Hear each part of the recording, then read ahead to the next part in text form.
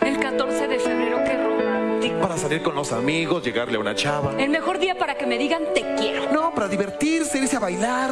Héctor, el 14 de febrero es el día del amor. Bueno, pero también es para divertirse. Es esto y mucho más es fantástico. Los invitamos a que pasen con nosotros un 14 de febrero inolvidable. Ven a vivir un fantástico amor. Domingo, 7 de la noche, por el canal de las estrellas.